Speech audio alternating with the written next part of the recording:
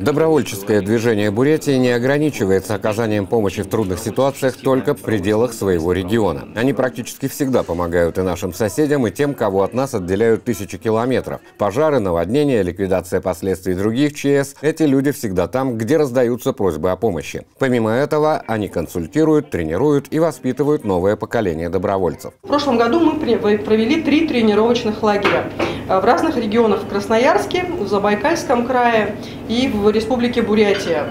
Я несколько лет работала в Greenpeace координатором противопожарного отдела, и моя задача была ну, как бы, помогать развиваться новым вот этим отрядам лесных, добро... лесных пожарных, которые появляются в Сибири. В тех районах Бурятии, где из состава местного населения созданы добровольные дружины пожарной охраны, им зачастую не хватает противопожарного имущества и обмундирования, аптечек и средств связи. Здесь на помощь тоже приходят добровольцы. В прошлом году мы оказали помощь э, на 220 тысяч было передано оборудование в сельские поселения.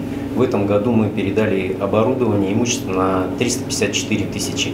Но вот сейчас мы получили субсидию э, на 997 тысяч 905 рублей э, от правительства Республики Бурятия. Значит, эта субсидия пойдет на закупку боевой пожарной одежды, значит, сапог, 60 комплектов того и другого. Добровольцы проводят профилактические конкурсы, беседы и обучение в школах, СУЗах и вузах. Многие из тех, кто прошел через эти занятия, после пользуются полученными навыками в своей основной работе. В минувшем году Алексей Белоусов принимал участие во всероссийском волонтерском конкурсе и выиграл грант в размере 1 миллиона 200 тысяч рублей. Его проект создания добровольной команды противопожарной защиты и спасательных работ занял третье место. Идея такая – создать э, группу подготовленных добровольцев и в случае какого-либо чрезвычайной ситуации быстренько мобилизовались, собрались, выехали и уже мы соответственно, подготовлены к этой работе. Ну и нарастить, соответственно, группировку добровольцев. На средства гранта было закуплено материально-техническое оснащение для добровольной противопожарной команды, которая будет охранять несколько населенных пунктов в Хоринском районе. В будущем добровольцам Бурятии предстоит колоссальный объем работы, говорит Андрей Бородин. Развитие аварийно-спасательного и противопожарного добровольства в Республике Бурятия набирает силу.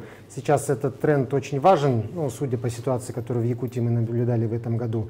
Ну и те прогнозные ожидания, которые у нас связаны с наводнением, да, все-таки мы вошли в полноводный период, тоже вот это состояние готовности именно добровольных спасательных сил нужно поддерживать на высоком уровне. Добровольцы республики выразили благодарность за финансовую поддержку Фонду президентских грантов и правительству Бурятии. Ведь грамотное распределение денежных средств позволяет не только увеличивать число волонтеров и добровольцев, но и экипировать пожарных и спасателей. Алексей Унагаев, Николай Манжуев, специально специально для программы «Вместе» телеканал «Мир Байкал».